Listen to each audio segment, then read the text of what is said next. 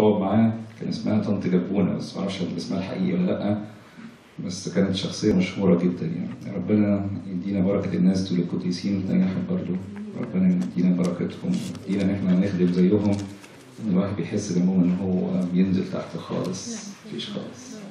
ربنا يدينا بركتهم. نقرأ مع بعض بسم الله والابن والروح القدس الله واحد امين نقرأ جزء من الاصحاح الثاني من رسالة المقدس الرسول إلى أهل روميا بركاته المقدسه تكون مع جميعنا آمين.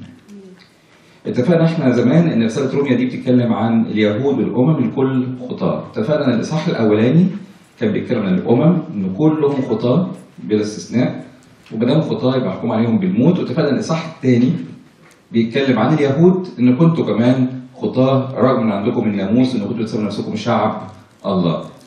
وهدف القديس بولس الرسول إن الاصحاح الأول بيتكلم عن الأمم، الاصحاح الثاني بيتكلم عن اليهود، الجميع زاغوا وفسدوا وعوزهم مجد الله، فكان الكل في احتياج إلى مخلص، لأن اليهود والأمم محتاجين إلى مخلص. فاسمعوا معايا بقى. هوذا أنت تسمى يهوديا بيواجه كلام اليهود وتتكل على الناموس وتفتخر بالله. وتعرف مشيئته، عارف مشيئة ربنا كويس وتميز الأمور المتخالفة، تفهم الصح والغلط الحلال والحرام على حسب الفكر اليهودي. متعلما من الناموس انت مثقف متعلم ان عندك الشريعة. وتثق انك كيهودي قائد العميان تسمي الناس الامم عميان فانت تثق انك انت قائد العميان ونور للذين في الظلمة. ومهذب للأغبياء ومعلم للأطفال. ولك صورة العلم والحق في الناموس. ليك المنظر بتاعك من بره انك انت معلم وانك انت تعرف الحق وانك تعرف تميز الأمور المتخالفة. وليك صورة العلم لأنك بتقول ربنا بيقول لأن ربنا أداك الرسالة بتاعته. فأنت إذا الذي تعلم غيرك يا يهودي ألست تعلم نفسك؟ والذي تكرز ألا يسرق أتسرق؟ أنت بتعلم الناس. طب أنت إزاي بتعيش بنفس الطريقة زي الأمم رغم أنك أنت عندك تعليم مختلف وعندك شريعة ربنا. التي تقول ألا يزنى أتزني؟ الذي تستكره الأوثان تقول الأوثان دي شر. أتسرق الهياكل؟ الذي تفتخر بالناموس. تفتخر إنك أنت عندك شريعة ربنا. اليهودي كان يفتخر إنه عنده ناموس ربنا ان عنده شريعة ربنا. إن ربنا اختار هذا الشعب وسمى إسرائيل شعبي. كان دايما يقول إسرائيل ابني البكر إسرائيل شعبي بتاعي أنا. فكانوا يفتخروا إن إحنا الأمة الوحيدة اللي تعرف الله الواحد الحقيقي في وسط العالم كله. فبيقول أنت الذي تقول الذي تفتخر بالناموس أبتعدي الناموس تهين الله؟ بتعدي الناموس تهين ربنا لأن الخطية إهانة لكرامة الله اللي الإنسان الخاطي بيرتكب كسر لوصية الله فبيعتبر إن هو إهانة لله حاشا طبعا لأن اسم الله يجدف عليه بسببكم بين الأمم كما هو مكتوب. يجي بولس الرسول يتكلم في الموضوع بقى بتاع النهارده. خلي بالكم من الكلام اللي هيقوله فإن الختان ينفع ختان ينفع إن عملت بالناموس. يعني طبعا إحنا احتفلنا يوم الأحد اللي فات عيد الإيه؟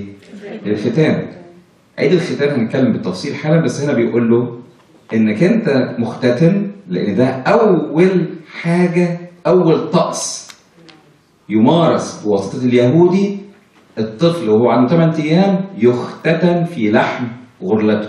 تختن أول طقس يمارس والطفل لا فاهم طقس ولا فاهم شريعة ولا فاهم ناموس ولا فاهم وصية ربنا ولا فاهم النفس التي لا تختتن تقطع تلك النفس من شعبها يعني يموت.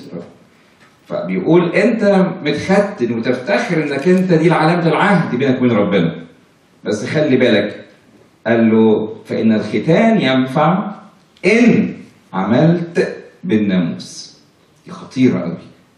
طب الختان ده علامة عهد من ربنا. قال له كل ذكر يختتن في اليوم الثامن في لحم غرلته فيكون عهدا بيني وبين نسلك وكل نفس لا تختتن تقطع تلك النفس من شعبها.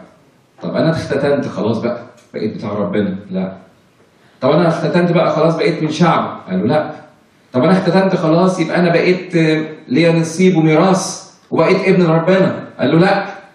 قال له فإن الختان ينفع إن عملت بالناموس. إذا كنت أنت بتظهر ختانك من خلال الأعمال الصالحة إنك أنت بتنفذ وصايا ربنا. ولكن إن كنت متعديا الناموس متعدي للشريعه بتاعت ربنا فقد صار ختانك غرلا. إذا كنت أنت تعديت الناموس تعديت وصية ربنا اصبح ختانك بالنسبة لخلاصك بلا قيمة؟ لأن اليهودي بيفتخر نحن أولاد إبراهيم. أولاد إبراهيم بالختان. لأن العهد من الله وأبونا إبراهيم كان إيه؟ الختان فقالوا نحن أولاد إبراهيم ولم نستعبد لأحد قط. قال له كل من يفعل الخطية هو عبد للخطية. يبقى أنت عبد. أنت مش حر. أنت بتسمي نفسك ابن إبراهيم. وفاكر نفسك حر. وفاكر نفسك أنت معلم وفاكر نفسك إنك أنت قائد. وفاكر إنك انت نفسك إنك أنت ليك صورة الحق والعلم في الناموس. لكن أمام الله يقول ملعون كل من لا يعمل بجميع ما هو مكتوب في الناموس. يبقى الناموس مهم جدا. الشريعة مهمة. بقى طاعة وصية ربنا أهم من الختان. لأن الختان يلغى. وكأنه لم يكن ما كانش الإنسان يتبع ناموس ربنا. الكلام ده خطير جدا لينا إحنا كمسيحيين. هنقول حالا. لكن تاني فإن الختان ينفع إن عملت بالناموس. ولكن إن كنت متعديا للناموس فقد صار ختانك غرلة لكنك ما تختنتش قدام ربنا. إذا إن كان الأغرل اللي هو مش مش سيركمسايزد مش متختن يعني يحفظ أحكام الناموس طب يعمل حسب الناموس بتاع ربنا؟ أفما تحسب غرلته ختانا؟ إذا كان ال- الإنسان الأممي ما عندوش وصية بتقول له اختتن ما عندوش عهد اسمه اختتان لكن هذا الأممي نفذ وصايا الناموس. تقول لي طب إزاي الأممي هينفذ وصايا الناموس وهو ما عندوش ناموس؟ لا إحنا اتفقنا قبل كده إن الناموس الإلهي مزروع داخل القلب. وقلنا إن في حاجة اسمها ضمائرهم مشتكية ومحتجة. عشان كده هقرا لكم جزء هرجع تاني للاصحاح نفس الاصحاح الاثنين بس الحتة اللي أنا قبل اللي قريتها. يقول إيه؟ شوفوا لأن الذين ليس الذين يسمعون الناموس هم أبرار عند الله. ليس الذين يسمعون الناموس هم أبرار عند الله بل الذين يعملون بالناموس هم يبررون. يبقى العمل بالناموس هو اللي يبرر الإنسان مش اللي يسمع الناموس. لأن الأمم الذين ليس عندهم الناموس. الأمم ما عندهمش الناموس بتاع موسى. في ناس بتقرأ الآية دي غلط سمعتها حتى من ناس كبار يعني في الكنيسة. يقول لك الذين هم بدون ناموس. لا مفيش مفيش حاجة اسمها بدون ناموس لأن في ناموس داخلي.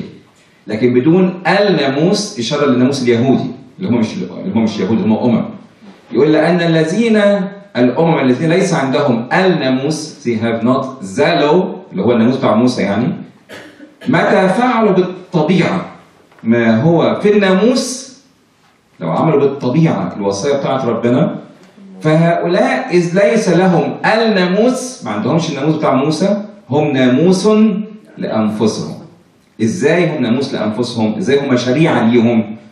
الذين يظهرون عمل الناموس مكتوبا في قلوبهم شاهدا أيضا ضميرهم وأفكارهم فيما بينها مشتكية أو محتجة.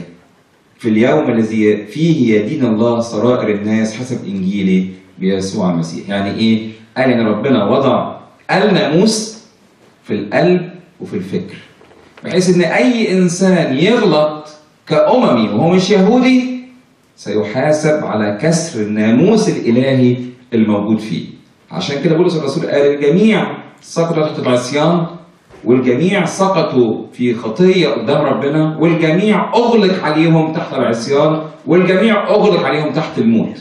اليهود إنه كسر الناموس المكتوب والأممي كسر الناموس الطبيعي اللي ربنا زرعه في داخل الإنسان. اتفقنا على كده؟ نرجع تاني للجزء بتاعنا. فإن الأغرل إن كان يحفظ أحكام الناموس. الأغرل اتفقنا اللي هو مش مختتن كلمة أغرل uncircumcised اللي هو مش متختن فإن كان الأغرل يحفظ أحكام الناموس أما تحسب غرلته اللي هو الانسركمسيشن بتاعه عدم ختانه ختانا يتحسب قدام ربنا إنه متختن يعني يتحسب إن هو من شعب الله. إذا كان الأممي زي نينوى وهم شعب وثني ومش متختن ما عندهمش العهد بتاع الختان ما حدش قال لهم إن في عهد اسمه ختان بينه وبين ربنا. طب هذا الشعب قدم توبة قدام ربنا. راح يونان النبي نادى على نينوى بعد أربعين يوم تنقلب المدينة. فصام الشعب من أول الملك إلى الطفل الرضيع إلى البهيمة. كل دول صاموا وبكوا وقالوا لعل الله يرجع عن حموه وغضبه ويصفح عنا. فكان ربنا قبل وقال يونان وبخه وقال له أنت مستني هنا ليه واقف فوق الجبل؟ قال له عشان تهلك المدينة، قال له قبل مش ههلكها، مش شفت إزاي توبتهم؟ أما رأيت كيف اتضعوا أمامي؟ وشفت إزاي تابوا كلهم؟ فيونان اتضايق قال له يا خسارة يا يونان أنت زعلتني أنت أشفقت على اليقطينه التي بنت ليلة كانت وبنت ليلة هلكت أفلا أشفق أنا على نينوى المدينة العظيمة التي فيها اثنا عشر ربوة لا يعرفون يمينهم من شمالهم وبهائم كثيرة وقبل ربنا أهل نينوى في توبتهم واستشهد بيهم المسيح نفسه وقال رجال نينوى سيقومون في يوم الدينونة ويدينون هذا الجيل لأنهم تابوا بمنادات يونان وهوذا أعظم من يونان. ها هنا يبقى اتقبلوا ولا ما اتقبلوش؟ اتقبلوا. أهل السفينة اتقبلوا لأنهم ذبحوا ذبائح وقدموا نذورا ورجعوا لربنا فاتقبلوا. إذا بولس الرسول مرة سأل قال لعل الله لليهود فقط كلا؟ للأمم أيضا. فإذا كان الأممي يتوب ويرجع لربنا ربنا هيقبله بل بالعكس ربنا أخذ ناس من الأمم ودخلهم في نسله مين في نسل مين من الأمم في نسل المسيح؟ راعوث رعوس المؤابية. من مؤاب مؤاب لعبدة الأوثان. شعب من أسوأ الشعوب ده المقدس المؤابيين والعمونيين. يقوم يجي يختار ربنا رعوس المؤابية ويجعلها جدا للمسيح. مين تاني؟ مين تاني؟ نسل المسيح دخل فيه أمم رعوس المؤابية اللي جوزت مين؟ بوعز وبوعز جاب عبيد وعبيد جاب يسى ويسى جاب مين؟ داوود. شوف قد إيه بقى؟ طيب مين تاني؟ رحاب الزانية رحاب الزانية دي أم بو... أم بوعز تخيلوا بقى رحاب الزانية دي كانت في أريحة كانت أممية ونزلت ال... الخيط. القرمزي الحبل القرمزي نزلته من السور وأنقذت هي وأهل بيتها بالإيمان رحاب الزانية نجت من الموت لما نزلت الحبل القرمزي إشارة دم المسيح على السور فأنقذت وخلصت هي وأهل بيتها أجمعين ودخلت في سلسلة أنساب المسيح. مين تاني؟ ها؟ مين تاني؟ شطارة بقى ها؟ مين تاني؟ فكرت طيب. فبيقول كده إذا كان الأغرل يحفظ أحكام الناموس أما تحسب غرلته ختانا وتكون الغرلة التي من الطبيعة. طبيعية في جسم الإنسان يعني. وهي تكمل الناموس اللي هم الناس اللي هم عايشين في الأمم بيكملوا الناموس. تدينك أنت الذي في الكتاب والختان تتعدى الناموس. يعني مش الراجل اللي مش ال- ال- الأممي اللي يمشي حسب وصايا ربنا وناموس ربنا. أحسن منك لما ينفذ وصايا ربنا اللي, هو مش عنده ناموس بيها. منك إنك أنت اللي عندك الختان والعهد. وعندك الكتاب الكتب المقدسة. مش يبقى أحسن منك لما هو ينفذ وصية ربنا ويعيش فيها. وإنت يا بتاع ربنا يا بتاع الكتاب المقدس يا بتاع الختان والعهد مع الله عايش في الخطية وبعيد عن أحكام ربنا وبتهين ربنا. لأن اليهودي في الظاهر في الجسد يعني ليس هو يهوديا. يعني مش بالمنظر قدام ربنا مش اليهودي في الظاهر ليس هو يهوديا. يعني مثلا يعني لما الواحد يتكلم عن زي ما قلت لكم حالا الرهبنة ما هياش لبس أسود ولا اسود مش كده؟ ممكن واحد في العالم يعيش راهب أحسن الراهب في البرية. ممكن واحد يعيش بقداسة قلب وطهارة ونقاوة أحسن من اللي لابس لبس أسود والاسود. صح؟ فيكون الراجل اللي عايش في العالم بطهارة ونقاوة قلب وقداسة قلب أحسن من اللي أخذ رتبة وأخذ كرامة الرهبنة وهو عايش في الخطية. يبقى ده أحسن منه. الموضوع فاليهودي في الظاهر ليس يهودي هو اليهودي. المنظر بتاع الراهب في الظاهر لو طبقناها بس عشان نفهم العبارة الراهب في الظاهر ليس هو الراهب لكن يعيش كإيه؟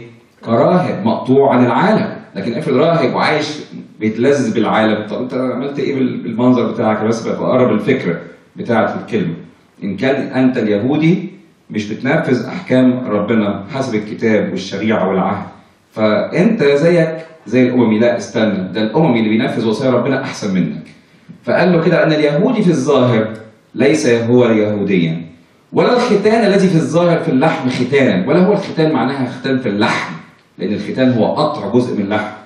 بل اليهودي في الخفاء هو اليهودي وختان القلب بالروح لا بالكتاب هو الختان بولس الرسول عشان يقول الكلام ده لليهود دي مصيبة. يعني بولس الرسول عشان يطلع الكلام ده من بقه ويطص في وش اليهود خلى اليهود يطردوه كل حياته من أول بدأ الخدمة لحد آخر يوم في روما واليهود قايمين ضده. حتى اليهود المتنصرين حتى اليهود اتنصروا. يعني اليهود بقى مسيحيين. ليه؟ لأن هم عندهم الله إلهنا أمر بالختان. أول علامة من علامات اليهودية والانضمام لشعب الله. فكون إن بولس الرسول يقول إن الختان مش هينفع شيء ويبعت لأهل غلاطيا يقول لهم ها أنا بولس أقول لكم إن اختتنتم لا ينفعكم المسيح شيئا. وبعدين يديهم كلمة صعبة يقول لهم أيها الغلاطيون الأغبياء من رقاكم حتى لا تذعنوا للحق؟ أبعدما بدأتم بالروح خلي بالكم الآية اللي جاية بقى عشان برضه ناس كتير بيغلطوا فيها تكملون الآن بالجسد إيه حكاية غلاطيا؟ إيه حكاية غلاطيا؟ الغلاطيين زي أي شعب كان أمم وراح البولس الرسول بشرهم ولكن حصل ارتداد عند شعب أهل غلاطيا إيه الارتداد؟ راح ناس اتنصروا من اليهود قال لهم لازم تحفظوا العوائد اليهودية. لازم تحفظوا ناموس موسى. لازم تتهودوا أولا. يعني تتهودوا تدخلوا في العهد والشريعة بتاعت يهوى إله إسرائيل. طب إيه العهد؟ قال لهم أولا الختان تتختنوا في لحم غرلتكم طب دي كده نبقى كويسين؟ قال آه ده أنتوا ما تختنتوش ما تبقوش من شعب ربنا. ما تبقوش أصلا تعرفوا ربنا. فراحوا بولس الرسول قالوا له الناس بيقولوا كده. قال لهم ها أنا بولس أقول لكم إن اختتنتم لا ينفعكم المسيح قالوا له لا إحنا عايزين نبقى زي الناس دول. قال لهم أنتوا كده بترتدوا لأن لو كان الخلاص بالختان والعهد بالختان المسيح إذا مات بلا سبب. إذا كان الإنسان ما يتختن يخلص وإذا كان الإنسان ما يتختن يبقى من شعب الله أمال ليه المسيح هنا جه؟ وليه المسيح مات؟ ها أنا بولس أقول لكم إن اختتنتم لا ينفعكم المسيح قد تبطلتم. عن النعمة يا من تؤمنون بالناموس. هيعمل لكم إيه الختان؟ قال لهم الختان هو ختان القلب بالروح والحق. هو الإنسان يتختن قلبه يتختن ضميره. ده هنتكلم عنه بالتفصيل. لكن أنا كل عايز ألفت نظره إزاي بولس الرسول يقف قدام اليهود يواجههم بحقيقة إن الختان لا يفيد شيئا فيما بعد. والا يحكم أحد عليكم من جهة عيد أو هلال أو سبت أو ختان. التي هي ظل الأمور العتيدة. وقال لهم أيها الغلاطون الاغبياء من رقاكم؟ هو بيوتش مين سحر لكم؟ حتى لا تزعموا الحق. أبعدما بدأتم بالروح بدأتم العلاقة مع ربنا بالروح القدس اللي أخذتوه في المعمودية والميرون والمسحة المقدسة. تكملون الآن بالجسد مش تكملون تكملون. Be perfected by the flesh. يعني إيه؟ فاكرين إن الكمال بعمل علامة في الجسم. اللي هي ختان يتقطع جزء من أعضاء من أعضاء. هو ده هو ده الفكرة عندكم اللي أنتوا تبقوا كاملين هو ده اللي يكملكم؟ أبعدما بدأتم بالروح تكملون الآن بالجسد. أنتوا محتاجين إن كنتوا تتختنوا علشان تكملوا. تبقوا كاملين قدام الله ولا ان كنتوا تنفذوا وصية ربنا والروح القدس الساكن فيكم تدخلوا معاه في شركة في العمل. إيه حكاية الختان؟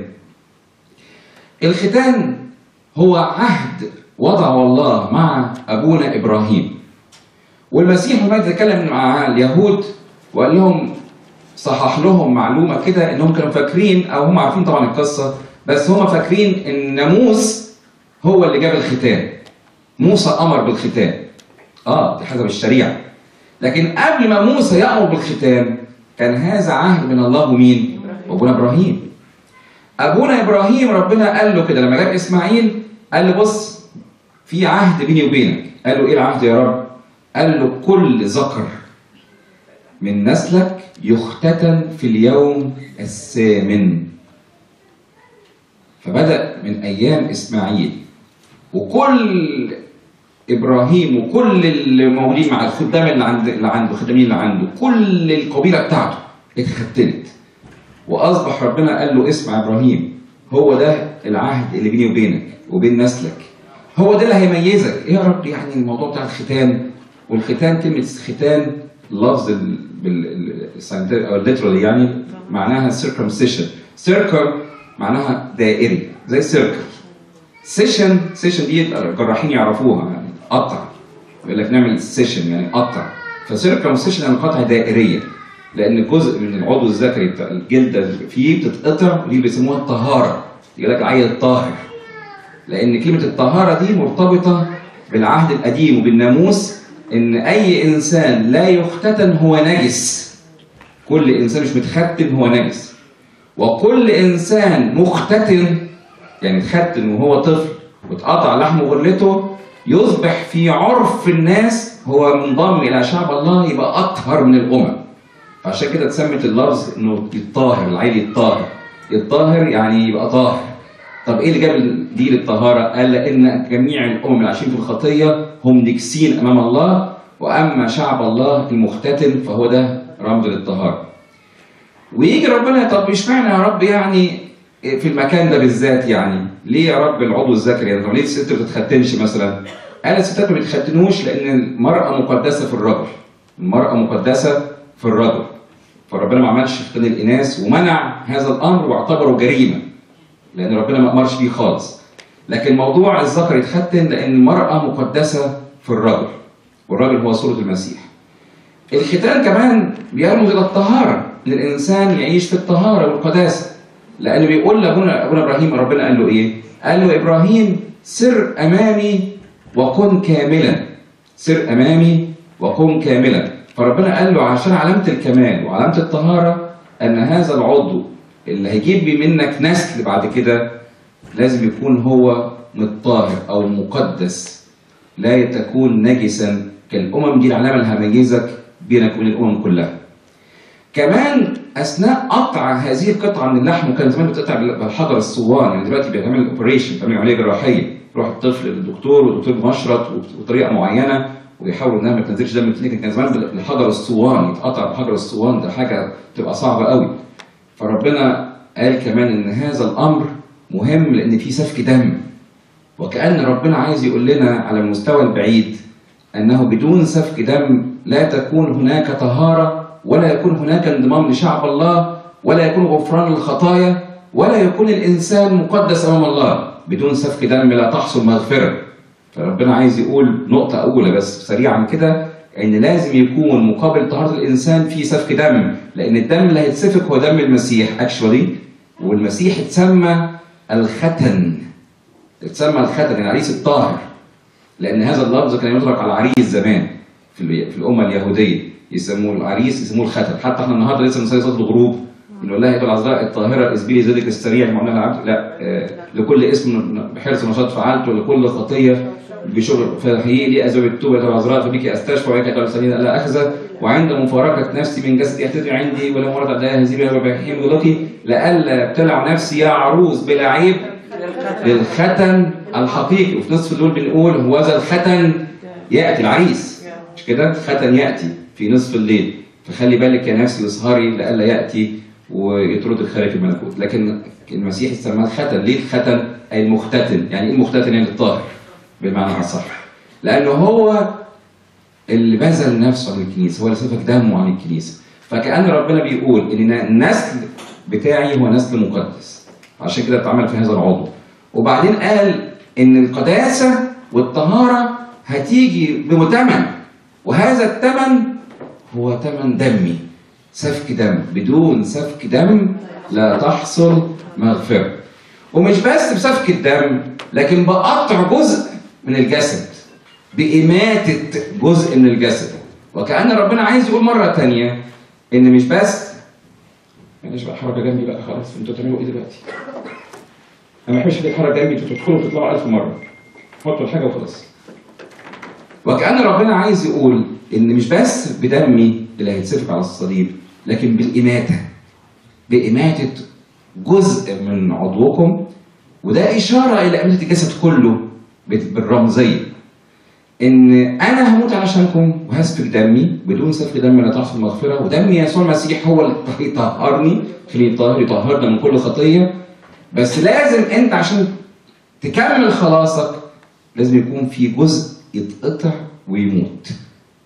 وكأن المسيح عايز يقول لي إن أنا هديك دمي بس لازم انت كمان يكون ليك دور انك تميت اعضائك التي على الأرض الزنا والشهوة الارضيه. أنا هموت علشانك بس انت كمان لازم تموت من أجل ملكوت السماوات. تموت إزاي؟ أموت إزاي يا رب؟ بنقول له امت حواسنا الجسمانية أيها المسيح إلهنا ونجنا. امت حواسنا الجسمانية إذا كان في شهوات إذا كان في آه، غرايز إذا كان في خطية. إذا كان في شيء داخل قلبي مش نظيف يقول ربنا أميت هذا العضو اللي يقربك من الخطية. مش بتكلم بس على العضو ده ولكن قال من أعصرتك عينك ختنها. طرحها دي يعني ختنها. يعني قطع العين ورميها بره it out and throw it away. إن ختم عينيك خلي عينيك متختنة مق- مقطوعة خليها تتذبح. تتذبح وتنزل دم تقوم تموت عن الخطية. لئلا تدخل ملكوت السماوات اعور أحسن من يدخل جسدك كله في جهنم. طب والإيد؟ قال ختن إيدك. اقطعها موتها ما هو الختان معناه قطع واماته يقول حتة الجلد اللي بتتقطع دي بتترمي بتموت. جزء ميت. بس كانت إشارة إلى ختان الجسد كله إن الجسد كله لازم يتختن فإن اعصرتك يدك اليمنى اقطعها والقها عنك. خير لك تدخل ملكوت السموات أقطع من أن يدخل جسدك كله. فيه طب والرجل؟ قال ان أعصرتك رجلك اليمنى فاقطعها. موتها عن الخطية. فأطلب إليكم أيها الإخوة برأفة الله أن تقدموا أجسادكم ذبيحة. ادي ذبيحة الجسد كده كله. ما عادش بقى جزء من الجسد الجزء كان رمز للكل. الخروف كان رمز للكل المسيح. قطع جزء من الجسد ونزول الدم إشارة إلى دم المسيح الذي به يتم الطهارة دم يسوع المسيح من كل خطية بس على شرط يكون في إماتة للجسد بتاعي من ناحية الخطية. أطلب إليكم برأفة الله أن تقدموا أجسادكم ذبيحة حية مقدسة لله. علشان كده الفكر بتاع ربنا في الختان هو ختان القلب والفكر واللسان والعقل وال- والأعضاء كلها. اليهود حسب فكرهم الضيق. حولوا فكر الله المقدس اللي بيرمز له بالختان إلى ممارسة وعادة وطقس بلا تفكير. دي مشكلة كبيرة بنواجهها إحنا لحد النهاردة. لما نتهود. يعني نتهود. يعني نمارس الطقس بتاعنا بلا فهم روحي لما وراء الطقس. بدليل إن إحنا بنتعمد والمعمودية كان رمز ليها الختان وبنموت في جرن المعمودية وما زلنا عايشين حسب الإنسان العتيق. هو الإنسان الجديد اللي قام من المعمودية المفروض إنه بيسلك حسب وصايا المسيح. مسيحي. بيسموها christianizing يعني تنصير. بنتنصر. بنبقى مسيحيين في جرن المعمودية. بنتبع المسيح. بنبقى أولاد لله. بنبقى بتوعه. طب أنا اتعمدت ومت مع المسيح. هو ده الختان موت الجسد كله. مات الجسد كله مع المسيح. الإنسان العتيق الفاسد الذي يفسد حسب شهوات الضلال مات في جرن المعمودية. مت واتدفنت وقمت لأسلك في الحياة الجديدة. بس لسه أنا عايش النهاردة حسب الإنسان العتيق لسه بكره ولسه بشتم ولسه بكذب ولسه بنم. ولسه بحقد ولسه أعضائي بتتقدم للخطية والنجاسة والزنا والشر. يقول لك أنت لما اتعمدت أفما تحسب معموديتك بلا قيمة إما كنتش تميت أعضائك التي على الأرض وتقدمها لله ذبيحة؟ إيه فائدة المعمودية؟ إيه فائدة جبت عمك نفتخر؟ آه إحنا نفتخر إحنا مسيحيين. والأمم دول أوه نفس الفكر اليهودي. الأمم دول كده. طيب اللي هم كده دول طب وأنت اللي تع- اتعمدت وأنت اللي اتختنت ختان الروح وليس ختان الجسد أتسلك حسب وصايا المسيح؟ تقول لا ما بسلكش حسب وصايا المسيح. يقول له إيه فائده المعموديه بتاعتك؟ فاكر إن هي دي هتخلصك؟ أما تحسب ختانك غرلة قدام ربنا في عينيه يتحسب بمعموديتك وكأنك ما اتعمدتش وكأنك لسه مش مسيحي لأن اسم الله يجدف عليه بسببكم كما هو مكتوب. إيه الفائده لما أقول جسمي دخل في المعموديه ومات وما زلت أقدم جسمي آلات اسم للخطية؟ زي ما بولس الرسول. أطلب إليكم أن تقدموا أجسادكم ذبيحه حيه لله وأعضاءكم آلات بر لله. طب ممكن أستخدمها على تاني قال آه ممكن أستخدمها آلات اسم للخطية. اخد اعضائي اقدمها للخطية. يبقى إيه اللي أخدته من المعموديه ولا حاجة.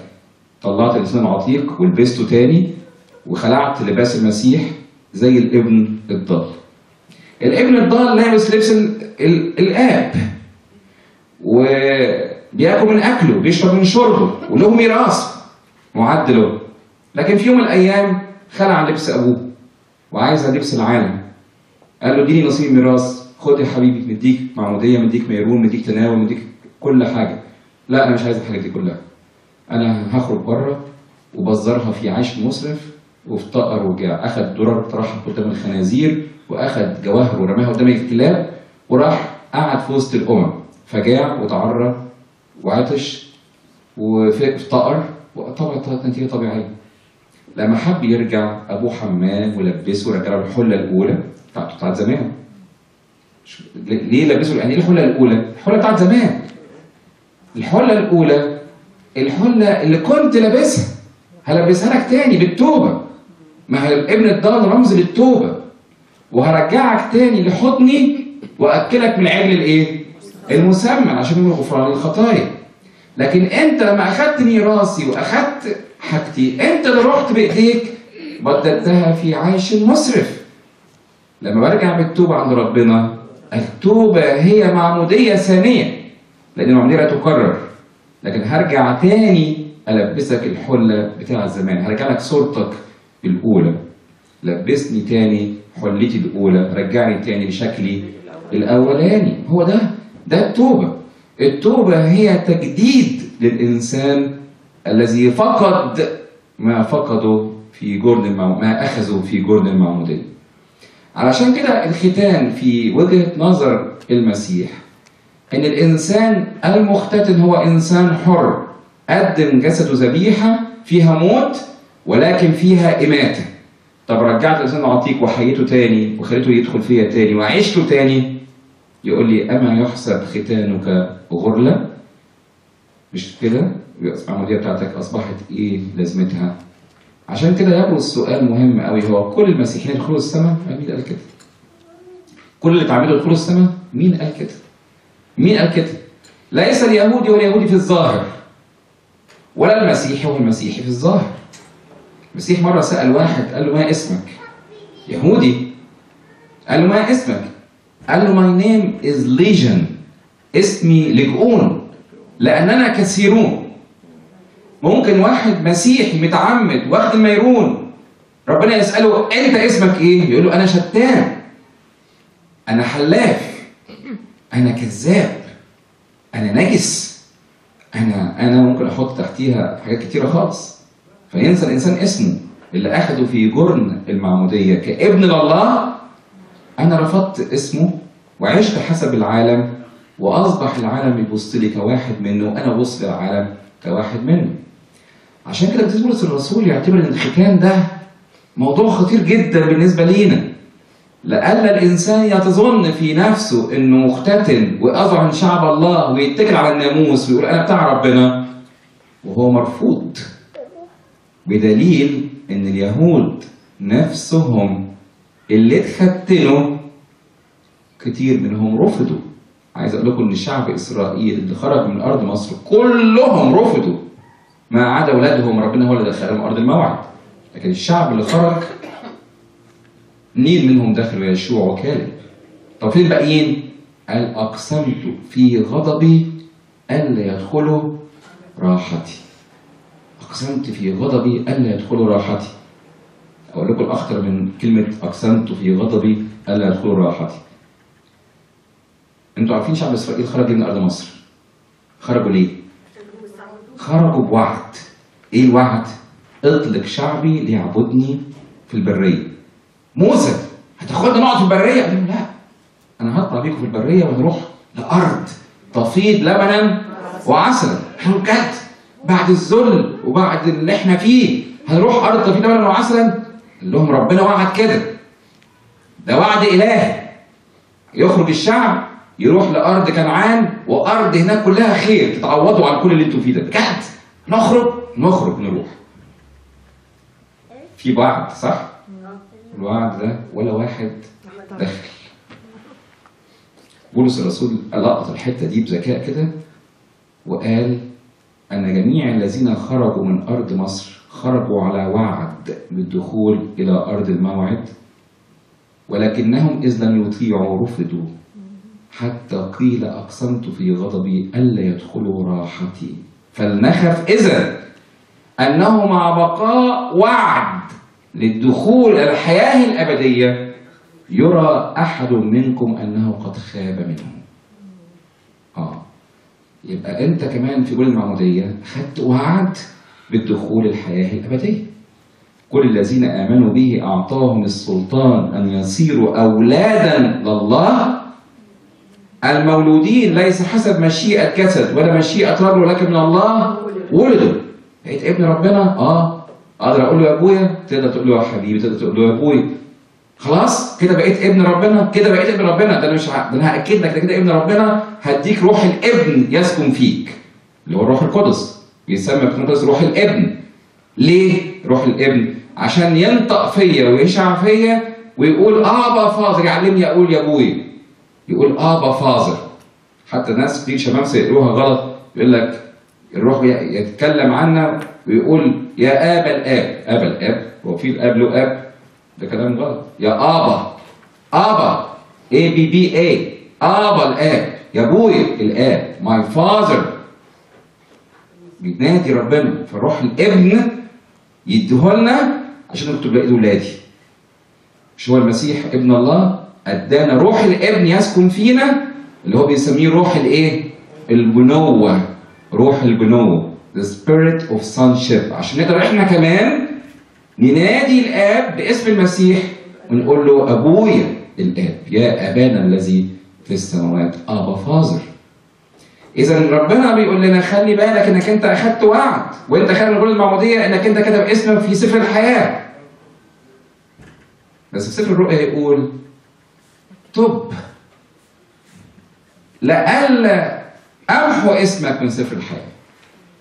آه يبقى اسمي اتكتب في سفر الحياة بس لسه still زي ما بيقول بعض الآباء يعني كده كلمه لطيفة إنك بتبقى بالرصاص can be wiped out ممكن يتمسح. لئلا امحو اسمك من سفر الحياة. وياما ناس بدأوا مع ربنا وما كملوش الطريق. ياما ناس بدأوا السبق وما كملوش السبق. عشان كده بولس الرسول الجهاد الجهاد الحسن أكملت. السعي المهم تكمل لأن في ناس مش هيكملوا. في ناس العالم هيجيبهم في النص. في عالم هيسقطوا. بدليل إن شعب إسرائيل كله سقطوا في الكفر وبأكثرهم لم يسر الله. فأقسمت في غضبي ألا يدخل راحتي مع بقاء الوعد. فلنخف نحن اذا أنه مع بقاء وعد للدخول إلى الحياة الأبدية. يرى أحد منكم أنه قد خاب. فشل. كلمة خاب يعني فشل إنه ياخد. ياخد ما هو معطى لنا في المعموديه عشان كده الختان هو إن الإنسان يتمسك بدم المسيح ده الإيمان علامة العهد. خذوا اشربوا هذه الكأس هي العهد الجديد بدمي طب أنا بتناول. خلي بالك انت بتتناول. إنك تكون بتنفذ وصايا المسيح بتناول أنا شتان فقدت مفعول الدم. بتناول أنا حلاف. في الصعيد يقولوا حلوف. يا بيقولوا كده. فقدت مفعول الدم. بتناول أنا زاني. فقدت مفعول الدم. مش هعمل لك حاجة. بالعكس. يكون الدم دينونة. عشان كده من يأكل جسد الرب ودم بدون استحقاق. يكون مجرما في حق جسد الرب ودمه إذ يأكل ويشرب دينونة لنفسه غير مميز جسد الرب من أجل ذلك يكون ضعفاء ومرضى وكثيرون يرقدون لأنه ان حكمنا على أنفسنا لما حكم علينا. يبقى الموضوع خطير ده الموضوع فيه دم المسيح بس لازم الإنسان المختتن المعمد لأن الختان رمز للمعمودية لازم يلتزم إنه ينفذ وصايا ربنا. عشان كده بنحتفل بعيد ختان المسيح. ليه نحتفل بعيد الختان؟ لأن المسيح رحمني أنا من هذا الطقس بتاع اليهود. قال لك كان زمان العهد هو قطع جزء من الجسد. لا العهد الجديد. أنا العهد القديم أنا هنفذه في نفسي. خلاص أنا ما دام نفذته أنا أصبح كأن الكل نفذه. زي آدم.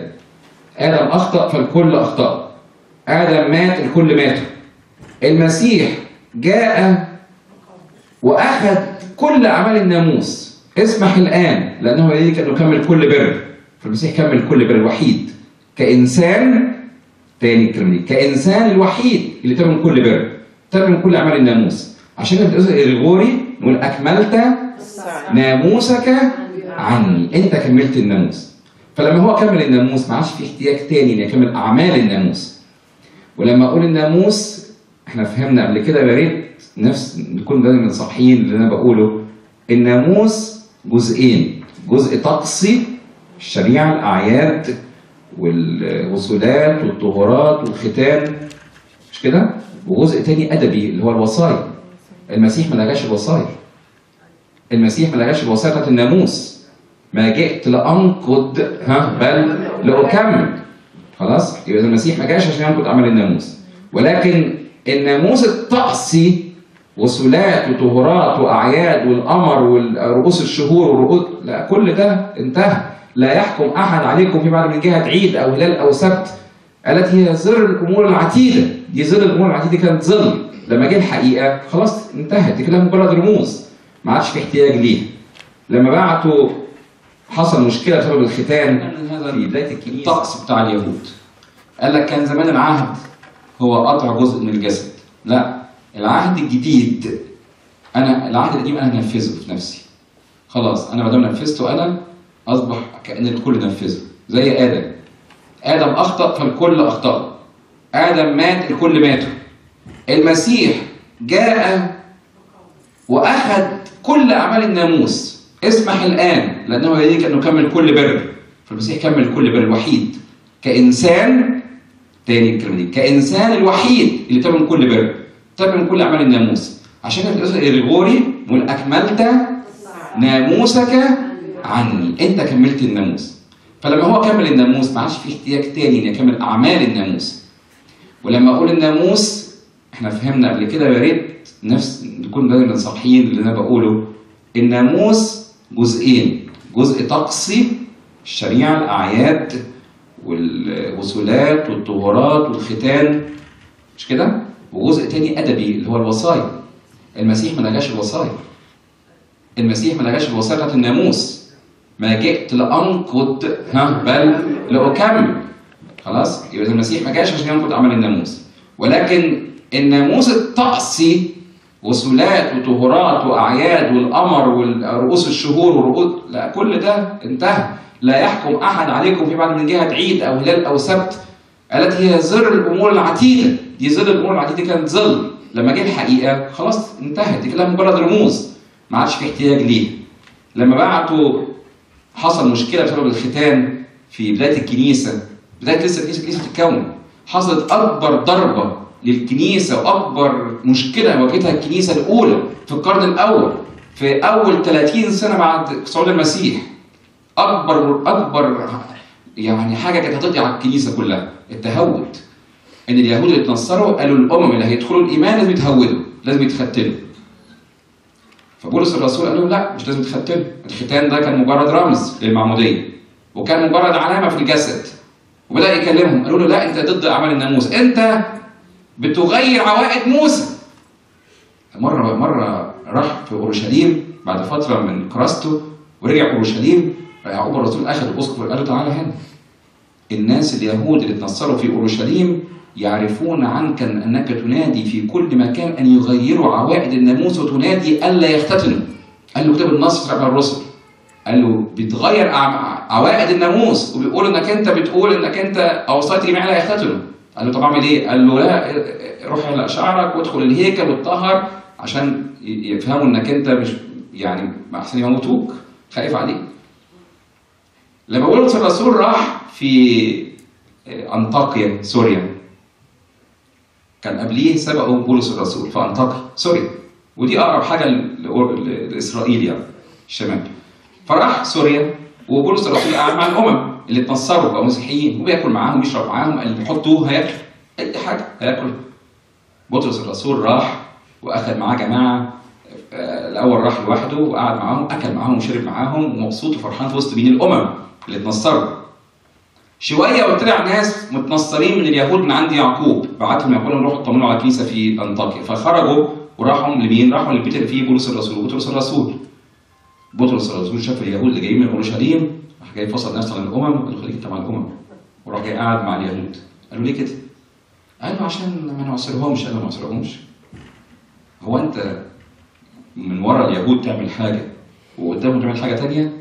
فبولس كتب حتة عبارة في رساله غلاطيا قال ولما صعدنا إلى أنطاكيا وجاء بطرس ولما جاء قوم عند يعقوب فصل نفسه عن الأمم فأعصرهم أعصر الأمم قالوا له هو مين الصح؟ هو بطرس أنت مش تلميذ المسيح يا بولس ده واحد من المسيح وراح مع الأمم وفصل يبقى إحنا نكسين فقال له وقف. بطرس الرسول قدام الكل قال له بطرس إن كنت وأنت يهودي تعيش كالأمم. فلماذا بتصرفاتك دي تجبر الأمم أن يتهودوا؟ حتى بولس الرسول يقول قاومته مواجهه لأنه كان ملوما. في الحق لا بطرس ولا بولس. وقف في الحق شاهد كده. قال له وقف وقفت قدام الجميع. وقلت لبطرس لماذا وأنت يهودي تسلك كالامم في الأكل والشرب يعني؟ وحياتك ولا بتمارس أي حاجة من الحاجات بتاعت الطقس دي ولكن بتعصر الأمم لما أنت بتلتصق باليهود. فلماذا تجبر الأمم بين قوسين بتصرفاتك دي أن يتهودوا فقال له بولس مش المفروض نتكلم في الموضوع ده قدام الناس. قال له لا نتكلم مواجهتك عشان الناس يفهموا إن هو مش خطاره ولا نكسين. قال له لا إحنا ننزل بقى نجتمع مع يعقوب والرسل ونحط حد للموضوع ده نحط له قانون. قالوا ننزل. فنزلوا كلهم إلى أورشليم وراحوا عملوا مجمع اسمه مجمع أورشليم الأول سنة 51 الكتاب بتاع أعمال 15 افتكروها كده. أعمال 15 يقلبوا ال 15 تبقى 51 سنة 51 ميلادية. سنة 51 اجتمع الرسل والمشايخ مع يعقوب وبقية الرسل وقالوا كده نعمل إيه في الموضوع ده؟ هل الأمم لازم يتهودوا واحد وقف. قال لهم آه يتهودوا. ما يتهودوش ليه؟ أنت يا بطرس مش دخلت الهيكل. آه، ويوحنا. ورحت وصليت صلاه الساعة التاسعة أنتوا مش كنتم آه، لسه ما نزلتوا بتروحوا تصلوا جوه الهيكل والمسيح مش كان يهودي؟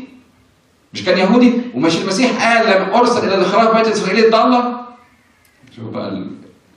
فبطرس قال له طب ممكن أتكلم؟ بطرس بقى اللي اتكلم. الله هو المفروض يكلم بولس لأنه رسول الأمم. بطرس الرسول وقف قال لهم أنا عايز أحكي لكم حكاية. قالوا له احكي.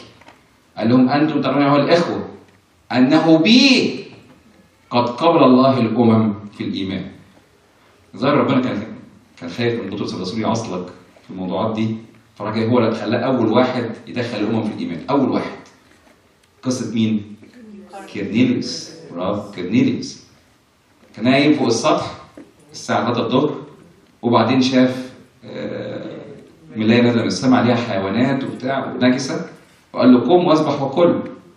قال له حاشا رب إني لم آكل قط شيئا. دنسا قال له ما طهره الله لا تنجسه عنه. كان هذا ثلاث مرات المنظور ده. فصحي يقول إيه الحلم ده؟ كان إيه المنظر ده؟ إيه اللي أنا شفته ده؟ معناه إيه؟ فلا لا الباب يخبط. يا معلم بطرس يا معلمنا بطرس انزل في ناس عايزينك. نزل لقى ناس جنود أمميين رومان. جايين قالوا له سجدوا قصاده قالوا له سيدي كيرنيوس سنتوريان قائد المئة. بيطلب إنك أنت تروح تزوره. قال لهم أنا؟ ادفع عند واحد أممي؟ اممي الامم عندنا إنجاز. ما طهره الله لا تنجسه أنت. قال هاجي حاضر حاضر حاضر هاجي هاجي وراح. دخل عند كيرنيوس سجد قصاده. قال له قم أنا عبد بعد عند يسوع المسيح. وقال له في إيه؟ قال له أنا كنت يعني نفسي أعرف الاله الحقيقي بصلي وأنا بشوف اليهود متعبين لربنا وكنت بقول إذا كنا الاله الاله الحقيقي الواحد يعرفني ذاته. فظهر لي ملاك وقال لي صلواتك يا كرينيليوس صدقاتك صعدت تذكار امام الله. ارسل إلى يافا تلاقي راجل اسمه بطرس ساكن عند واحد دباغ هناك يقول لك ماذا ينبغي أن تفعل فأنا طالب منك أعرف إيه الحق. بدأ بطرس يصلي وعظه المسيح. وفيما هو يتكلم معه حل الروح القدس عليهم مثل ألسنة نار وبدأوا يتكلمون بألسنة. فبولس بطرس الرسول قال اللي كانوا معاه قال لهم إذا كان ربنا قبل الأمم في الإيمان من أنا؟ حتى أمنع عنهم الماء أن لا يعتمدوا. وأخذهم وعمدهم هو وأهل بيته أجمعين. وكان أول علامة لقبول الله للأمم هما أنهم حل عليهم الروح القدس وبدأوا يتكلمون بألسنة كما نحن أيضا يوم فأعمل الحكاية دي في مجمع أورشليم. قالوا له خلاص بقى ما أنت بتاع الختان أنت اللي بتقول الكلام ده ها قد رأى الروح القدس ونحن. قرار المجمع. رأى الروح القدس ونحن. ألا يصق على الأمم الراجعين إلى الإيمان بل يمتنعوا عن الدم والمخنوق والزنا وعباده الأوثان إن فعلتم هذا تخلصون واخذوا رسائل كتبوها بإيديهم وضعوا عليها الرسل عشان تكون حجة لكل الرسل اللي هيبشروا الأمم إن الأمم غير مطالبين بأي شيء مثل هذه الأمور إذا الموضوع خطير ليه؟ لأن الموضوع مش موضوع ختام في الجسد ولا علامة في الجسد. بولس الرسول بقى علمنا شيء مهم. قال إن أنتم ختنتم إحنا بنتكلم المسيحيين بقى.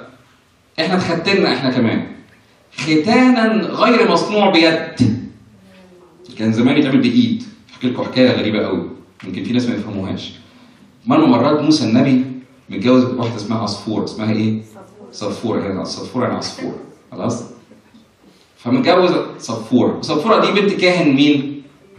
كاهن مديان راعي فالراجل كاهن مديان ده يسرون هو متجوزه متجوزها وتعتبر من الامم فاتجوزها وبدأت يعيش معاها فترة طويله 40 سنة في البرية لحد ما ربنا ظهر له في العلايقه وراح خلص شعب مصر. وهو رايح موسى النبي ربنا أداله الشريعة وفهمه الشريعة بعد كده بعد خروجه لأرض مصر. وقال له كل الشعب يقتتل صفورة لأنها أمم كانت أممية ما رضتش تختن جرشوم ابن موسى. فظهر له ملاك الرب ليقتله. أنا مش عايز تنفذ أوامري؟ طب أنت واحد هتموت. موسى النبي. فتكها فهمت إن ملاك ربنا جاي يصرعه جاي يموته من أجل إن هو ما ختنش ابنه لأن هي كانت منعت إنها تختن ابنها. فراحت جاية ماسكة حجر صوان وراح جاية مختنه الواد وأخدت الدم بتاع الواد وراح جاية لامسه رجلين موسى. فلما لمست رجلين موسى فارقه الملاك المهلك. فقالت الآن يا موسى قد صرت عريس دم لي عريس دم يعني إيه عريس دم؟ يعني أنا أخدتك عريس ليا جديد عن طريق الإيه؟ الدم بتاع الختان العهد كلمة عريس دم دي ما حدش كان يفهمها، أنت بقيت رجعت أخدتك عريس تاني، أنت كنت هتضيع مني. أنا أنقذتك، بس أنت دلوقتي عريس عن طريق الدم، دلوقتي زمان كنا عريس حسب الجسد. دلوقتي عريس بالدم.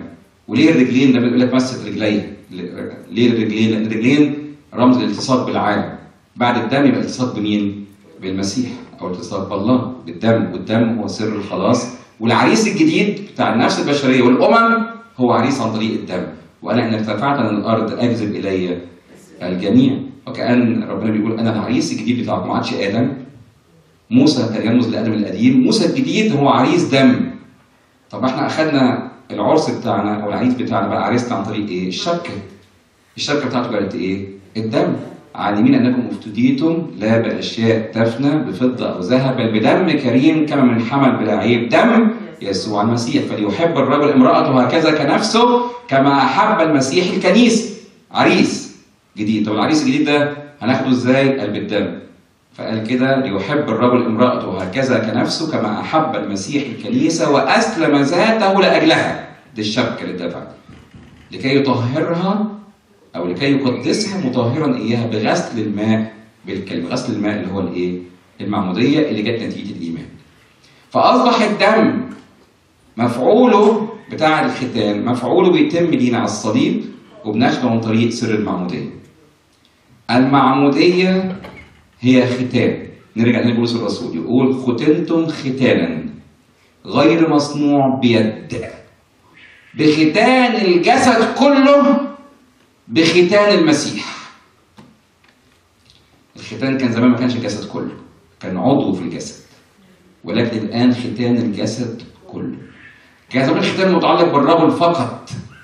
النهارده الراجل والست بيتختنوا الختان الروحي اللي هو المعمودية. الختان هو موت.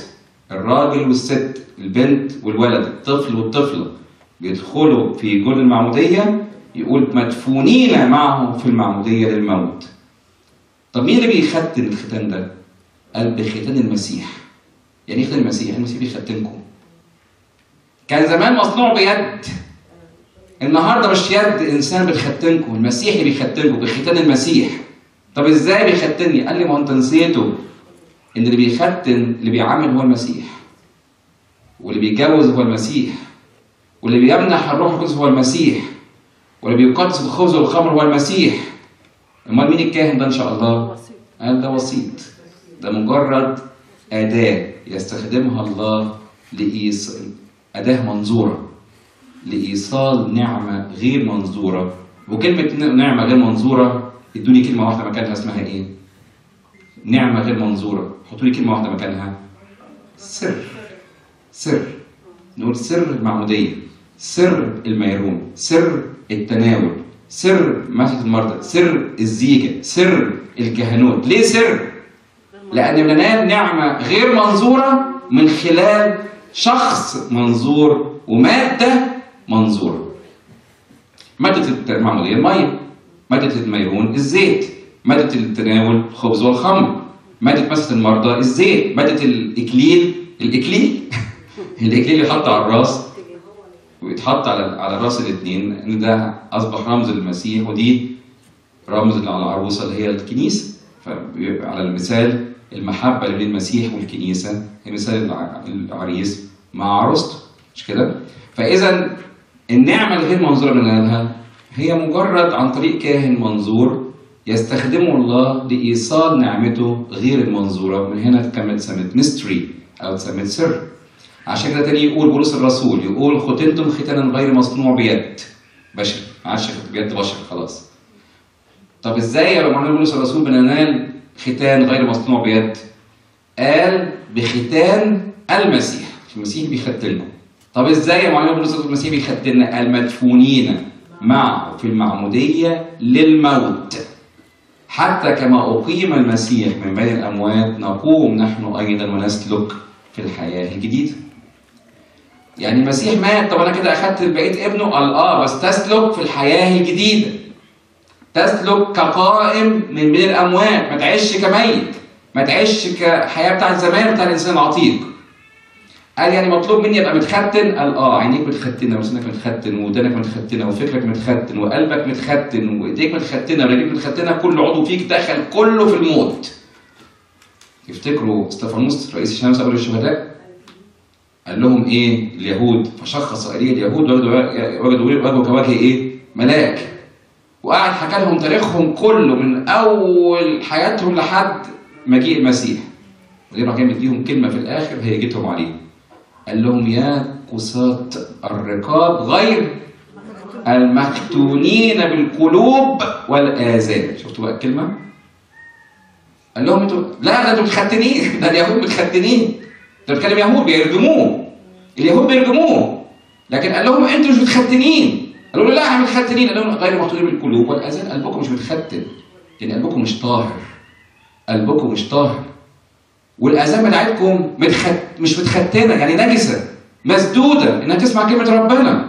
وعينيكم مش متختنه اله هذا الظهر قد أعمى عيون غير المؤمنين. لئلا تنير لهم إنارة إنجيل مجد المسيح.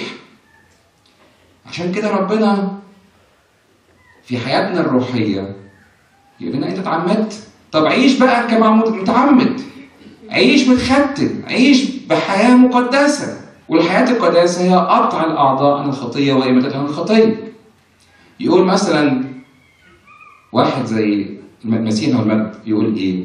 يقول أنا هو الكرم وأنتم الأغصان. كل غصن فيا لا ياتي بثمر يقطعه وكل ما يأتي بثمر ينقيه. كلمه ينقيه يعني يختنه. لياتي بثمر أكثر هو قطع. كلمة ينقيه بال... بالمعنى بتاعها يشذبه. والتشذيب هو قطع الحاجات الضارة والأوراق الضارة وقصها مش كده؟ يقطع فيها كده عشان يخلي الغصن ما فيهوش حاجات ضارة. ما ت- مش ينقيه يعني يختنه ليأتي بثمر أكثر. والكلمة دي على فكرة مش غريبة. لأن في الشريعة بتاعت موسى ربنا قال لهم إيه؟ قال لهم كل شجرة تختتن ثلاث سنين. كل شجرة تدناها ثلاث سنين ثلاث سنين تشيلوا ال- الثمر بتاعها وترموه. إيه ده؟ كل شجرة قال آه كل شجرة تتختن ثلاث سنين ختان. طب والسنة الرابعة؟ قال السنة الرابعة بتاعتي. تجيبوا الثمر بتاعها في الهيكل. يا نهار أبيض. طب إحنا ناكل إمتى؟ قال في السنة قال والسنة الخامسة ثمرها هيكون بتاعكم ليه؟ قال عشان اختن لكم الشجر. يتختن يعني يبقى إيه؟ مقدس. خلي بالكم إن كلمة ختان بيها بيصبح الإنسان بتاع ربنا. والمعمودية بيها الإنسان بيبقى بتاع ربنا. الكلمة بتاع دي بتاع ربنا دي حط مكانها كلمة اسمها مقدس. مكرس لله. فإحنا بنتخصص وبنتكرس وبنفرز لله لما بنتعمد نسمى مسيحيين. وهكذا كان شعب إسرائيل بيفرز ويخصص ويكرس ويقدس لله من خلال الختان فإحنا أي جزء فينا مش مختتن هو نجس فكل ما هو مختتن فهو طاهر. عشان كده لما يقول مثلا ان إن غير مخلوق قلوب الأذان يعني قلوبكم نجسه وأذانكم مليانة نجاسة. فربنا قال كده قال إن الشجرة لازم تختتن لأن لما ربنا الإنسان أخطأ لعن الأرض. لعن الأرض فأصبحت الأرض ملعونة. وقال له شوك ملعون الأرض بسبب شوكا وحسكا تنبت لك فلما الأرض اتلعنت أصبح كل غرس فيها ملعون. طب الملعون ده يتقدس إزاي بتاع ربنا؟ لم يختتن يختتن يعني إيه؟ يتقطع منه الثمر بتاعه ويترمي ثلاث سنين والسنة الرابعة يبقى بتاعتي والسنة الخامسة تاكلوه. يبقى بتاعكم أنتوا. وكان ربنا عايز يقدس الثمر. فيصبح ليس غرسا شيطانيا ولا غرس ملعون ولكنه مخصص ومكرس لله. هكذا لما اتولدنا كنا مولودين حسب مشيئة جسد ومشيئة رجل فكنا واخدين الخطية بتاعت آدم واخدين طبيعته الفاسدة. ربنا عايز يقدسنا ويكرسنا بالختان في العهد القديم وبالمعمودية في العهد الجديد. ولأن اليوم الثامن يوم مهم جدا عند شعب إسرائيل كانوا بيمارس فيه الختان. طب ليه اليوم الثامن بالذات؟ قال لك رمز للحياة الجديدة. الأسبوع فيه سبع إيه؟ سبع أيام اليوم الثاني معناها بداية حياة جديدة بداية أسبوع جديد المسيح لو المجد قام في اليوم الثامن مش كده؟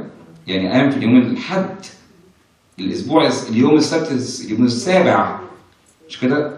استراح الرب في اليوم السابع وقدسه وتسمى سبس أي يوم الراحة اللي هو السبت طب يوم الحد يبقى الثامن يوم أي الحياة الجديدة والفلك بتاع نوح خلص فيه ثماني أنفس بالمعمودية اعتبر القديس موسى الرسول إن نوح والفلك اتعمدوا في مية الطوفان. فيعتبر إن الفلك الذي فيه ثماني أنفس قد خلصوا بالمعمودية. يعني إحنا بنتعمد فبنخلص. عشان كده كان رمز للحياة الجديدة.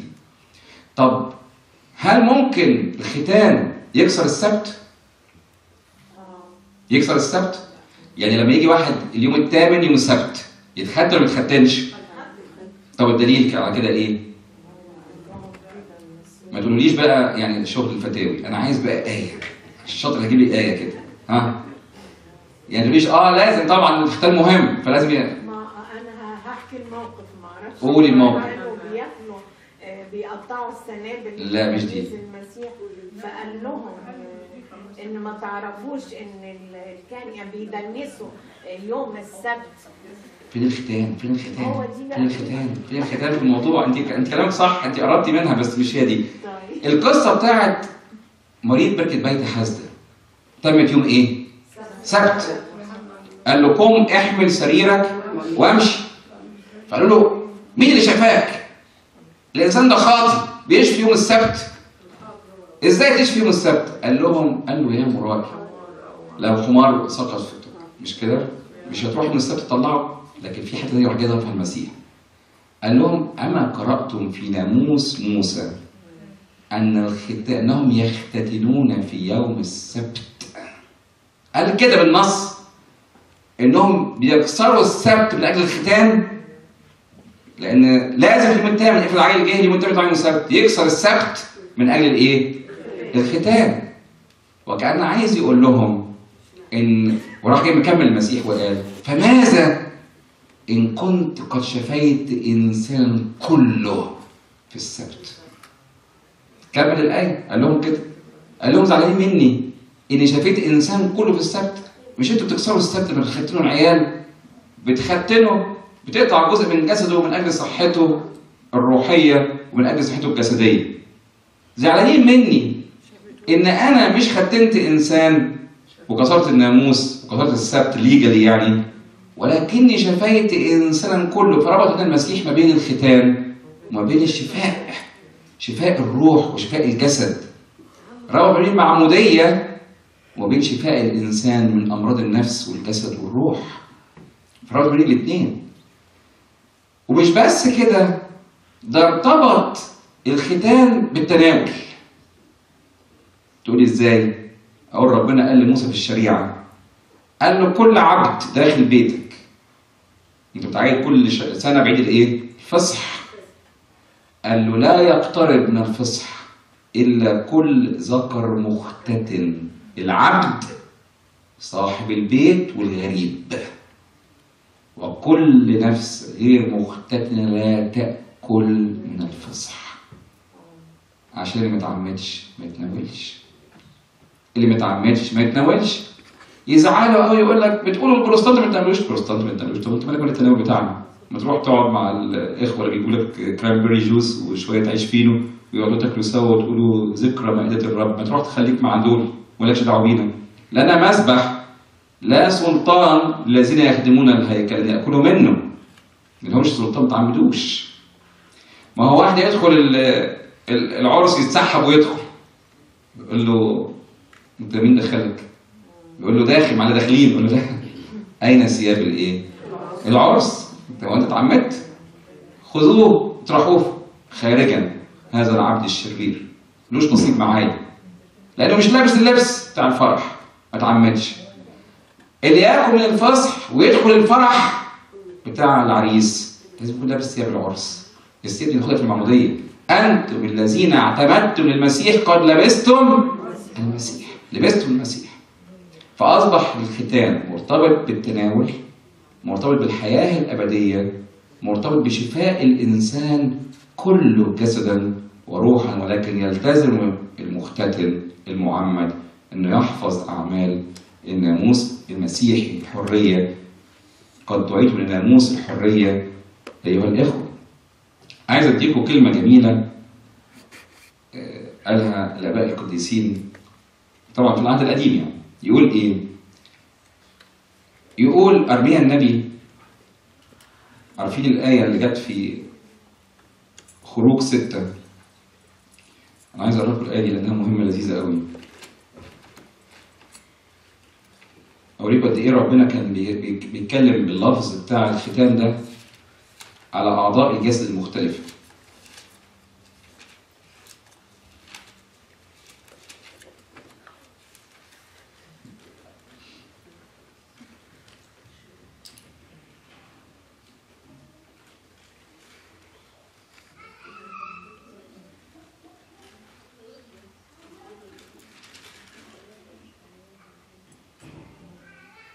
لما موسى وقف قدام ربنا وقال له روح طلع لي شعبي من أرضي من أرض مصر. قال له ها أنا أغلف الشفتين. بس أجيب لكم كام لفظ كده بسرعة هقراها لكم وأخلص. بس أوريكم قد إيه ال- ال- الختان مش مقتصر بس على الختان في المفهوم اليهودي اللي هو سيركمسيشن قطع جزء من العضو ولكن له فكر روحي. هذا هو فكر الله منذ الأبد. فقال موسى امام الرب ها أنا اغلف الشفتين فكيف يسمع لي فرعون؟ اغلف الشفتين دي خروج ستة. فقال موسى امام الرب أنا اغلف الشفتين. اذا لما الإنسان شفته تكون ما بتتصليش ما مع ربنا شفته نجسة. لسانه كله بيطلع شتايم. زي ما قال بولس الرسول حنجرتهم قبر مفتوح. في ناس كده. في ناس لسانهم ما يعرفش يطلع الا الكلام العيب يطلعوا الكلام السفاهة والهزل الذي لا أو يتكلموا عن الناس أو يدينوا الناس أو يتكلموا على ده ويتكلموا على دي أنت مالكش دعوة بحد خالص. لسانك ده لعل ينبوع واحد ينبع من نفس العين ماء عذبا وماء مرا. لا ينبغي أن تكون هذه الأمور هكذا يا إخوتي يعقوب الرسول. به نبارك الله الآب وبه نلعن الناس الذين تكونوا على صورة الله. تقول لي يستاهلوا شتيمة ولا تستاهل؟ الهلاك. انت تقول تستاهل الشتيمة مش كده؟ وربنا قال لك كمان تستاهل الهلاك. لأن قال من قال لاخيه يا أحمر فهو مستوجب نار جهنم. ولا يمكن أن ينقض المكتوب. نروح نتناول وشتمين نروح نتناول وحلافين نروح نتناول وكذابين ولا يمكن أن ينقض المكتوب. فقال له اغلف الشفتين. كلمة غلف الشفتين دي قالها كده اشعياء النبي في اشعياء ستة بس بطريقة تانية. لما ربنا ظهر له وشاف السيد جالسا على عرشه وازياله تملا الهيكل ازياله كلمة ازياله في ناس ما يفهموهاش. كلمة ازياله بال... أنتوا عارفين الطرح بتاع العروسة بيسموها إيه؟ تريل مش كده؟ تريل بيسموها تريل T R A I N فالثياب بتاعته ملأ الهيكل يعني. ده اللبس بتاع المسيح يعني في جلال في عظمة يعني منظر جبار. فأول ما شافه اشعياء النبي قال ويل لي لأني هلكت لأني إنسان نجس. أهو كلمة نجس الشفتين دي يعني اغلف الشفتين. نجس الشفتين يعني اغلف الشفتين. يعني لساني اغلف يعني لساني نجس مش طاهر قدام ربنا. فطار واحد من الكروبيم وأخذ جمر على المذبح ونقاط ومس بيها شفتيه وقال له الآن قد كفر عن اسمك وطهرت طهرت خطيتك وكفر عن اسمك لا تموت. لأنه أنا مش ممكن اعذر ربنا وأنا إنسان نجس الشفتين فاغلب الشفتين نجس الشفتين زي أشعياء النبي. ارميا ستة يبقى إحنا قلنا الخروج ستة. ارميا ستة يقول لأن آذانهم غلفاء. آذانهم غلفاء. يعني في غلف الآذان زي ما أيها قساة الرقاب غير المخلوق بالقلوب والآذان. ودن مش تسمع كلمة ربنا تسمع كلام العالم وأغاني العالم. ارميا أربعة يقول غلف قلوبهم. غلف قلوبهم. يعني القلب اغلف أنا عايز أقول لكم ليه بقول الألفاظ دي؟ كتبتها تحت بعضها. عشان نفتكر إن ربنا هدفه من الأول مش موضوع ختان الجسد ولكن ختان الروح وختان الأعضاء بتاعت الجسد. اماتتها عن الخطية؟ تقديسها وتكريسها لله. تثنية عشرة يقول اختنوا غرلة قلوبكم. تثنية عشرة. يقول اختنوا غرلة قلوبكم. الألفاظ اللي ربنا استخدمها عن الختان يبقى ربنا استخدم الختان بأسلوب روحي. ما كانش هدفه بس هو الجسد. تثنية 30 يقول ويختتن الرب إلهك قلبك. ويختن الرب إلهك قلبك. لما ربنا هيديك الشريعة والناموس والمعرفة بتاعته يختن قلبك. وقلنا أعمال سبعة يا قسط الرقاب وغير المختونين بالقلوب والآثام كما كان آباؤكم هكذا أنتم أنتم دائما تقاومون الروح القدس. الغلف في المفهوم الروحي هو أن الإنسان يعيش حسب رغباته الحيوانية ويعيش حسب العهد الذي ما قبل معرفة الله. عشان كده يقول من أجلهم أقدس أنا ذاتي. المسيح قال كده. المسيح من الختان بالروح وختان الجسد. الكمال هو الكامل كله. فقال لهم من أجلهم أقدس أنا ذاتي ليكونوا هم مقدسين في الحق. يعني أنا ختنت حسب الجسد وأنا صغير فأتممت عمل الناموس ولكن المسيح عاش الختان كل أيام حياته عن طريق تكريس ذاته وتقديس ذاته. لله الآب وكرس ذاته كحمل بلا عيب من قبل الآب من أجل خلاص أنفسنا. من أجلهم أقدس أنا ذاتي ختان الجسد وختان الروح أي المسيح عاش بلا خطية. آخر حاجة هقولها إن الطفل في سن 8 سنين 8 شهور 8 أيام ما يفهمش يعني إيه اختان دي نقطة بس على جنب كده.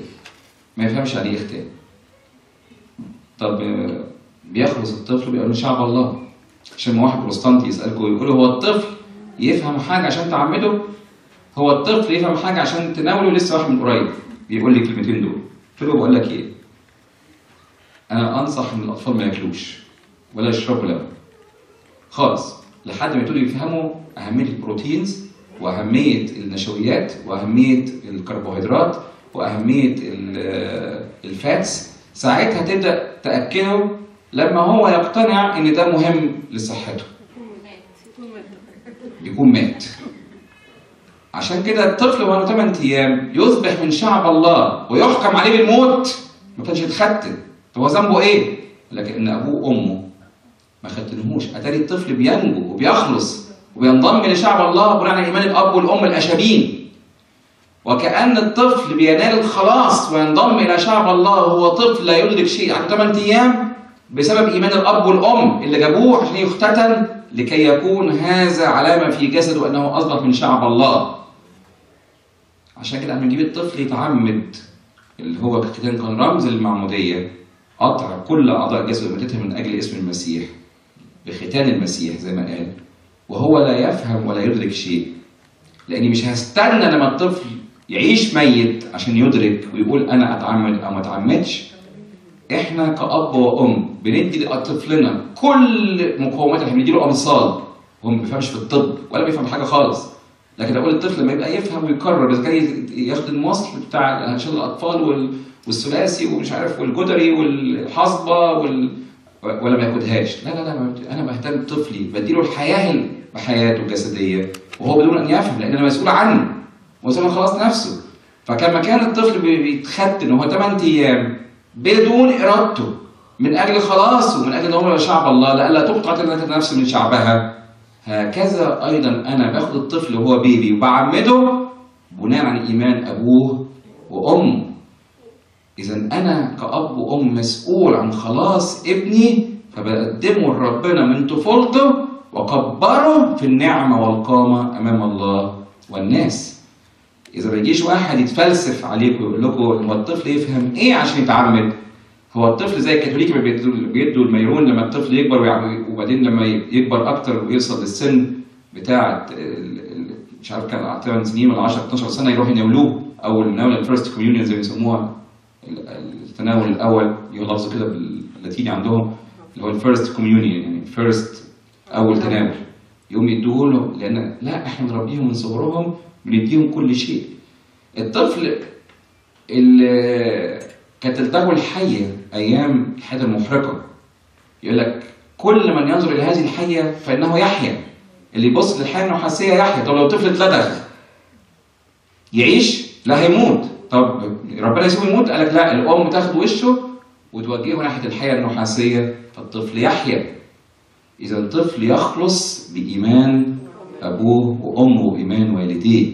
عشان كده الأب والأم ليهم مسؤولية. في معموديه الأطفال وليهم مسؤولية ما يأخروش سر المعمودية وليهم مسؤوليه انهم يربوا ابنهم في مخافه ربنا وطاعه وصيته ويفهموه.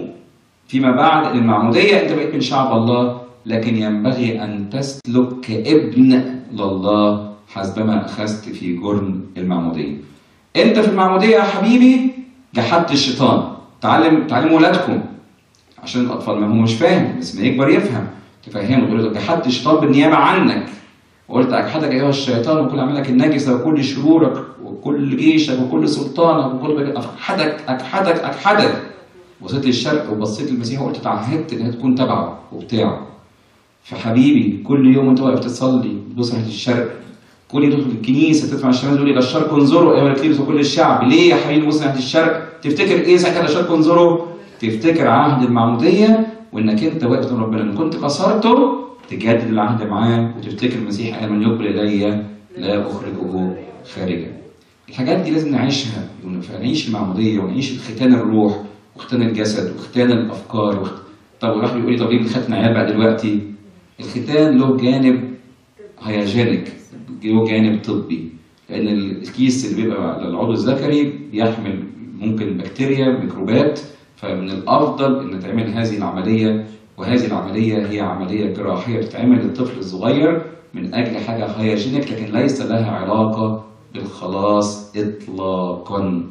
وبالطبع إذا كان الطفل الذكر مش لازم يتختن عشان يخلص فما بالكم أيضا الكنيسة منع محرمة ختان البنات. عشان كده اتعمل عليها مؤتمرات واتعمل عليها موضوعات كبيرة في مصر وفي أنتوا عارفين إن في طفلة اتختنت وماتت. واتعملت اياميها report في ال CNN لكن الكنيسة ضد ختان البنات بالكامل وحتى الختان دي كلمة غلط لغوية بالنسبة للبنت بيسموها خفاض لكن يعني مش مش موضوع لغة عربية لكن آه، الكنيسة حرمت هذا الأمر بالنسبة للبنات خالص ولكن ما عادش له جانب آه، خلاصي بالنسبة لينا ولكن هو جانب hygienic أو جانب آه، طبي صحي فقط ولا غير. طبعا برضه دي مقدمة بس عن الختان عشان إحنا احتفلنا بالعيد يعني لكن في ما هو أكتر نتكلم عنه من الجانب الروحي أكتر من كده لكن حبينا ندي فكرة وبإذن ربنا إن شاء الله يوم الخميس في قداس الصبح من الساعة آه، 8 للساعة 11 من برامون بتاع الغطاس بالليل في قداس من الساعة 6 ل 11 وهو قداسين في بعض قداس المية واللقان وقداس تاني بتاع ال- بتاع كاسب قدام المسيح.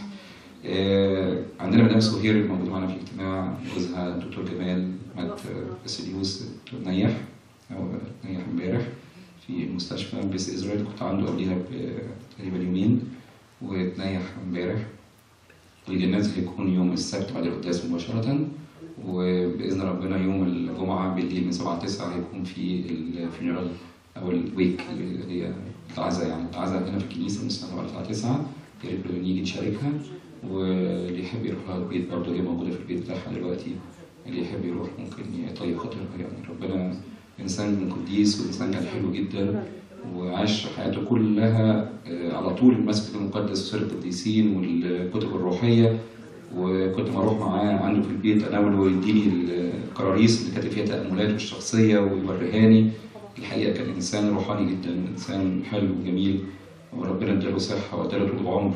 علشان يديله مكافأة حلوة شاف ولاد ولاده وربنا يديله بركة وينيح نفسه قدوس النعيم ويقبل صلواته من أجلنا ويدي عزاء لمدام سهير ويدي عزاء لكل ولاده الذين أحبوه لإلهنا كل كرم ومجد الآن والأبد آمين. يترأف الله علينا ويباركنا وليظهر وجهه علينا ويرحمنا يا رب خلص شعبك بارك لراسك ارعاهم ارفع شأن المسيحيين بعلامة الصليب المحيي بالصلوات وطلبة ترفع عنا كل حين. أمنا الطاهرة القديسة وآخر وقديس يوحنا المدان وقديس يوحنا الحبيب. بركة قديسي هذه الكنيسة مرمي عجائب وفرس السادس. بركة قديس الأمة مرقس الرسول. شفاعتهم بركاتهم قوتهم معونتهم تكون مع جميعنا امين اسمع صلواتنا يا رب بكل شكر قائلين. أبانا الذي في السماوات يتقدس اسمك. يأتي ملكوتك تكن مشيئتك كما في السماء كذلك على الأرض. خبزنا الذي الغد أعطنا اليوم واغفر لنا ذنوبنا كما نغفر نحن أيضا المذنبين إلينا. ولا تدخلنا في تجربة لكن نجينا من الشرير المسيح. يسوع ربنا لأن لك الملك والقوة والمجد إلى الأبد. آمين. والآن محبة الله الآب نعمة الابن الوحيد ربنا لنا مخلصنا يسوع المسيح شركة مواهب وعطايا. واستمر القدس تكون مع جميعكم امضوا بسلام وسلام الرب يكون مع جميعكم. إن شاء الله المرة الجاية نعمل لكم حفلة. كنا أول بقى خلاص خلصنا الجهاد والبطاس نعمل لكم حفلة بعد بعد الاجتماع. اجتماع اجتماع. مش بعد الاجتماع نعمل لكم حفلة كده زي ما فاتت مع بعض بعد الاجتماع بإذن ربنا. ونوزع عليكم هدايا عيد ميلاد للناس بتوع شهر يناير. عشان نحاول الشهر ده نوزعهم كلهم مع بعض بتوع شهر يناير. وبعدين نعم؟ يناير بس لا لا مش اصل رجعي إحنا بنبدأ من شهر يناير. إحنا اتفقنا هنبدا من شهر يناير. فعشان كده اللي ما سجلش اسمه وما سجلش بتاع ملوش نصيب. لازم اللي ما سجلش اسمه في الورقة يسجلها يملى الورقة ويديهاني حالا علشان نجيب لكم هدايا كويسة بإذن ربنا. آه، وتكون آه، حاجة مفرحة يعني في الاجتماع بإذن ربنا. فأرجو اللي ما اخدش الورقة دي لو سمحت ياخدها يملاها حد ما اخدش الورقة دي؟ لسه لحد دلوقتي محدش كملها؟ طيب. اللي ما اخدهاش ياخدها يملاها ونديكم الهدايا إن شاء الله. ممكن هو الأسبوع الجاي مش هيكون آخر هيكون آخر أسبوع هيكون آخر مش هيكون آخر ثلاثة لا هندي لا بس بس مش هندي استنى. إحنا لسه 23 لا يوم يوم 30 إن شاء الله. نعم؟ من الساعة خمسة. لا من ثلاثة من ثلاثة من ثلاثة الظهر. ثلاثة الظهر. إيه، خلوا الهدايا نديها آخر اجتماع يوم 30 يبقى المره الجايه حفلة خلاص والمرة اللي بعديها ندي الهدايا بتاعت عيد الميلاد يبقى يوم 30 عشان كده آخر الشهر ندي كل بتوع الشهر. وبعد كده بقى يدي كل أسبوع.